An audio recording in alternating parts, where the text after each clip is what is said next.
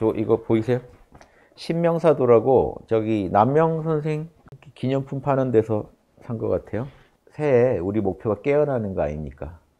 깨어나시라고 소개해 드립니다. 요게 우리 마음 마음을 그려놓은 거예요. 신명 신명 사는 집 음. 태일군이라고 태일군하고 이제 경 깨어 있어라 깨어 있어라 여기 딱 가운데 정 가운데 깨어 있어라가 써 있는 거 아시죠? 태일군이 이 참나자리입니다. 태일은 북극 북극성이라는 뜻이고요. 우주의 중심 가장 센터가 되는 하느님 이래서 태일군인데요. 여기 신명사, 신명의 집, 신명이 살고 있는 곳이다, 여기가. 하나님이 여기 삽니다. 근데 재밌는 게, 뭐라고 했죠, 제가? 이 하나님이 검이라면, 그쵸? 요게 이제 거미줄이라면, 뭐가 거미, 거미줄에 해당, 그, 거미줄이 잘 쳐 있다는 게 뭐죠? 경. 깨어 있어야 됩니다, 경. 깨어 있으며. 근데 왜 참나, 참나 자리에다가 안 써놨냐? 참나는요, 성 자체예요. 정성성 그 자체예요, 참나는. 한 점 애고가 없단 말이에요. 참나는. 근데 이 경은 애고한테 하는 말이에요. 경 깨어 있으라 참나가 왜 깨어 있어요? 그러니까 그, 그 서암 스님 주인공 화두를 잘못 푸십니다. 일반적으로. 보세요. 거기서 그 스님이 날마다 아침에 이래요. 주인공 하고 이렇게 깨어 있어요. 주인공 하고 자기 자기가 자기한테 불러요. 주인공, 주인공은 태일군인데 주인공 하면서 정신을 모으면서 참나를 잡았겠죠. 주인공 하면서 참나 접속을 합니다. 깨어 있어라 그래요. 자, 누가 누구한테 지금 깨어 있으라고 한 거죠?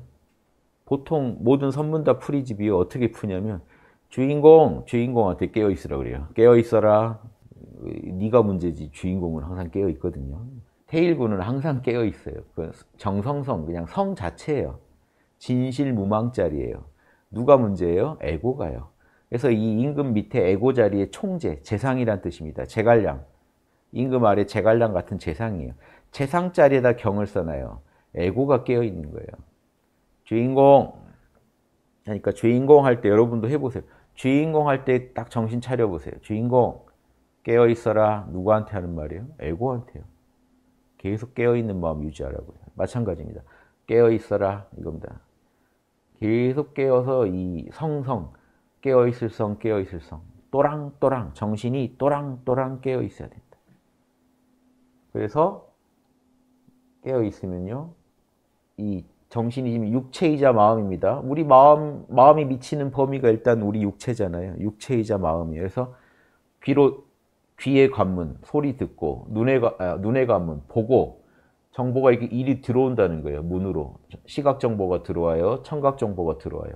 그러면 보는 거는 태양이고 듣는 건 달이니까 해와 달이 떠 있는 거랑 같다는 거예요. 정보가 계속 들어와요. 빛이 비춘다는 얘기는 정보가 계속 들어오는데 바깥 사물을 비춰가지고 정보를 듣는데 밖으로 정보를 내보낼 때는 어디서 내보내요? 입이요. 입으로 나가니까 입이 특히 여긴 정보 나가는 거죠. 내 말이 나가는 거죠. 조심하라.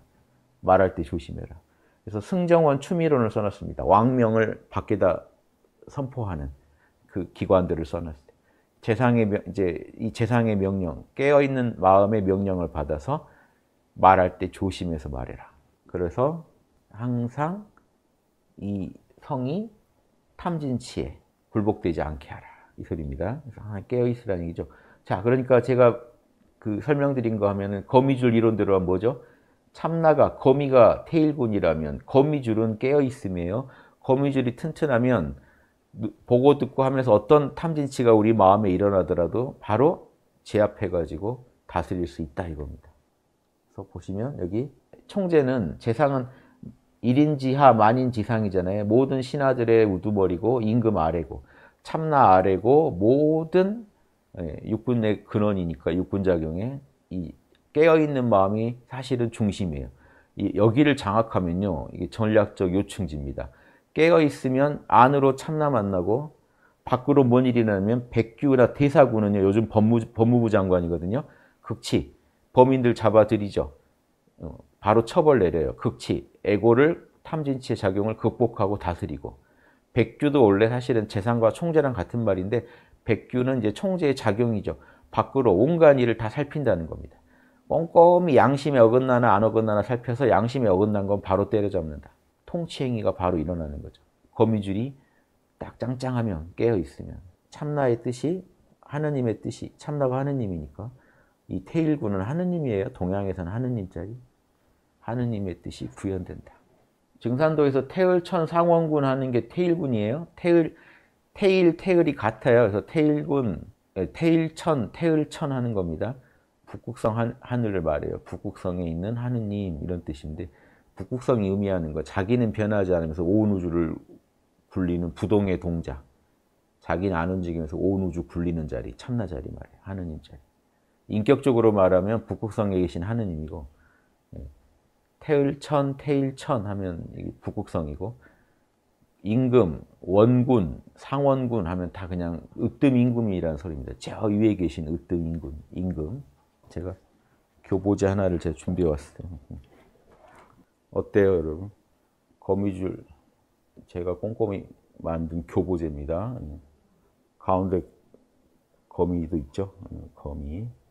이거 여섯 방향 된 거 구하려고 제가 엄청 뒤졌어요 인터넷. 아, 제가 어떻게 만들어 이걸 샀어요. 그래서 아, 마침 이게 있더라고요. 거미는 제가 실로 꼬맸습니다. 음. 요 어때요? 요거. 음. 육바라밀의 거미줄을 치시라는 거예요. 마음에. 음. 이 거미가 태일군이면 거미줄은요. 깨어있는 의식. 거미줄이 없으면요. 벌레들을 못 잡아요. 탐진치 못 잡아요. 여러분이 딱 깨어있다는 건 여섯 방향으로 거미줄이 쳐집니다. 계속 거미줄이 쳐집니다. 원만하게 거미줄이 쳐져야 된다. 학당 가운데 중심점이 참나라면 원만하게 영향력을 발휘하는 거 여섯 방 여섯 방향으로 육바람밀에 맞춰서 여섯 방향. 요거 잊지 마시라고요. 올 한해는 거미줄 단단히 치고 자 이 정도 거미줄이면요 들어와입니다. 들어와. 야 다 들어와. 어. 이거 뭐, 그, 못 들어요, 못 들어. 사람도 잡아요, 이건. 지금 이 정도. 이러면 여기 뭐 이렇게 매달려 있는 또 표현했으면 좋았을 텐데 여기 뭐 좀뭐 뭐 매달려 있어도 상관없어요. 그냥 거미줄로 감고 가는 거예요. 그냥 가요. 신경 안 써요. 거미줄에 너덜너덜하게 걸려 있어도 거미줄만 짱짱하면 그냥 갑니다. 그러니까 여러분 여러분을 괴롭히는 많은 것들이 여러분 여기 달라붙겠죠. 하루에도 하루에도 수많은 고민거리가 달라붙겠죠. 아니 우리 일상에 여기 세균 천지예요. 면역력 있으면 걱정 안 하죠. 거미줄 짱짱하면 걱정 안 하죠. 두루와 두루와 정신이 깨어있는 상태입니다. 하늘처럼 정성스러워지려고 노력하는 게 정신을 차리는 겁니다. 한, 하늘처럼 윤동주 그 시인의 시 같네요. 하늘처럼 한 점 부끄럼 없는 진실 무망한 경지가 되려고 오늘 또 온갖 잡것들이 나를 노리고 있지만 온갖 번뇌 망상 속에서도 정신을 차리고 깨어 있는 것. 깨어 있는 사람만이 하늘을 닮을 수 있고 하늘의 뜻을 구현할 수 있고 하늘의 뜻을 알 수도 있고 그러니까 하늘을 닮을 수 있죠. 총체적으로. 하늘의 뜻을 알고 하늘의 뜻을 배양하고 하늘의 뜻을 구현하고 깨어 있어야 됩니다. 이거 잊지 마세요. 예, 항상 거미줄 들어와 하는 마음으로 정신 항상 정신 딱 차리고 들어와. 마찬가지로 일어나기 싫어 죽었을, 죽었을 때 어떻게 해야 돼요? 정신 딱 차리고 일어나요. 일어나는 거죠. 정신 차리고 몸을 움직이세요. 유체 이탈하신 것 같아요. 여러분들 다 알아. 다 정신이 나가 있어요. 그러니까 일단 내 몸에 들어와야 움직이죠. 유체 이탈했으면요. 몸에 들어와야 될 거 아니에요. 몸을 조정하려면. 어, 들어왔다 하고 움직이는 거예요. 정신을 차리고 움직이세요. 정신 차리면 이 거미줄에 장악이 돼요. 내 몸뚱이도 이제 거미줄에 장악이 돼서 움직이는 거예요. 육군도 딱 이 거미줄이 쳐져 있어, 거미줄에 걸려 있어야 됩니다. 깨어있는 마음이 장악해야 된다고요. 수많은 번뇌망상, 탐진치도 거미줄이 장악하고 있어요. 거미줄이 강해져야 되고 거미줄이 촘촘해져야 된다. 자, 두 가지 이거 하나만 더 말씀드릴게요. 거미줄은 강해져야 되고요. 굵어져야 되고 항상 깨어 있 깨어 있으시면요. 강해지고 촘촘해집니다. 깨어 있으면서 계속 지혜가 늘면 더더더 촘촘해집니다. 음. 다 잡혀요, 그러면. 점점 더 여유가 생기죠. 두루와가 잘 되죠. 예.